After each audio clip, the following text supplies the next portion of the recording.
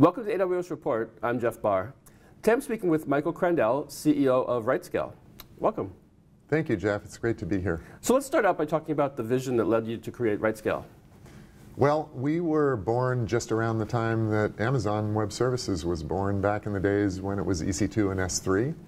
And we were super excited about the prospect of infrastructure being offered in this pay-as-you-go, uh, virtually infinite, you know, outsourced manner. And so Thorsten von Eicken, uh, one of my co-founders, and Rafael Saavedra, the other one, and I got excited and decided, let's build a management layer that lives on top of this stuff. Okay, that actually led me to my next question, which was what actually is RightScale and what does it do? So RightScale is a cloud management platform. And our goal is really to make it easy for companies to leverage and get the benefits out of infrastructure clouds like Amazon.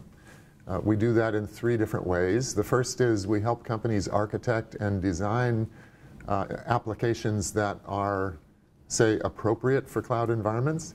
The, the second part is that the platform provides a lot of automation of the operations of those apps across servers and services, different services, uh, whether it's a handful or up to tens of thousands.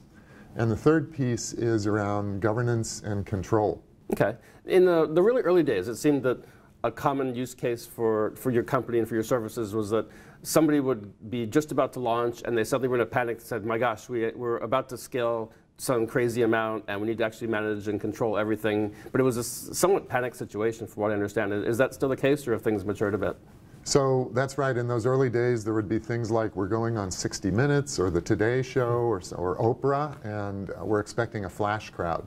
And that's certainly one of the benefits of the cloud. But what's happened to us uh, in the intervening years is much more of a focus on larger customers, enterprise customers, or just larger, more complex applications and helping companies really leverage cloud throughout their organization. Sure. Now, if a, if a company is thinking about working with RightScale, what's the best way for them to engage and get started to make, make the best use of, of the, the, the service and of the, the skills that you guys have? So we have a free edition of RightScale, so you can try the best and, and greatest of what RightScale is at no charge, kind of similar to the free offering that you guys have at AWS.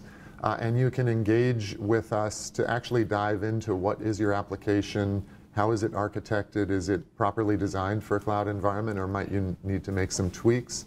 And in that sense, up front, we provide some, I guess, trusted expertise that you can leverage uh, when you're considering moving to a cloud environment. So you also recently acquired planforcloud.com. So tell me a bit about what they do and what your thinking was when you did that acquisition. PlanForCloud is a cloud forecasting tool. And we discovered over time that one of the concern areas that we had already addressed was kind of looking in the rearview mirror around cloud consumption and allowing companies to do chargeback or showback, so to speak, of what's already been spent and some budgeting for the future uh, in a limited way. And we saw Plan for Cloud and thought we need to add that to RightScale as a tool to let companies uh, begin to look at different scenarios if they, uh, if they can forecast what might I spend if I bring this kind of application or workload to the cloud in the future, and what might it look like across different spend uh, models. Well, I really appreciate you taking the time to come by today and wish you the best of luck in the future. Thank you, Jeff. Thanks for coming by. This has been the AWS Report, and I'm Jeff Barr.